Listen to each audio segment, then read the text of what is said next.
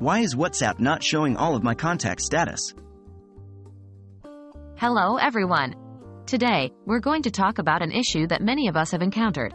Why is WhatsApp not showing all of my contact status?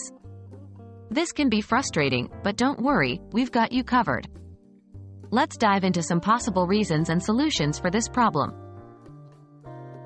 Are your contact status updates visible to you?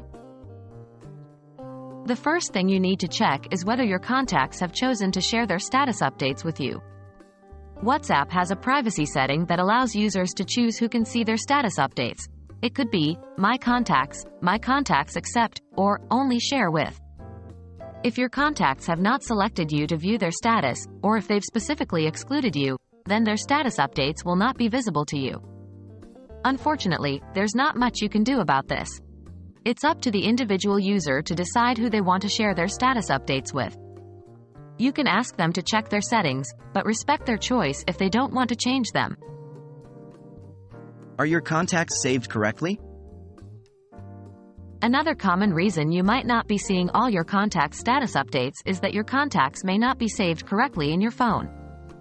WhatsApp uses your phone's contact list, so if a contact is not saved correctly, their status might not show up. Make sure the phone numbers are saved in full international format. That's a plus sign, plus, followed by the country code, area code, if any, and the phone number. For example, a US number might look like this, plus 1, 123 456 7890. Have you granted WhatsApp the necessary permissions?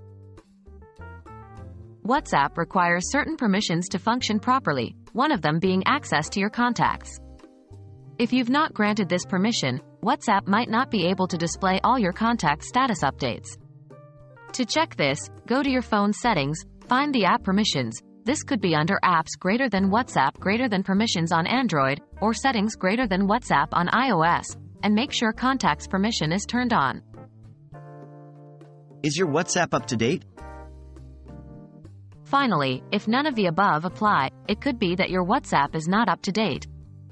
WhatsApp frequently releases updates to fix bugs and improve performance. You can update your app by going to the App Store for iOS or the Play Store for Android, searching for WhatsApp, and clicking Update if it's available. So, those are some reasons why you might not be seeing all your contact status updates on WhatsApp, and some steps you can take to resolve this issue. Remember, you can always reach out to WhatsApp support if you're still having trouble. We hope this video has been helpful and cleared up any confusion you might have had. Keep exploring, and see you next time.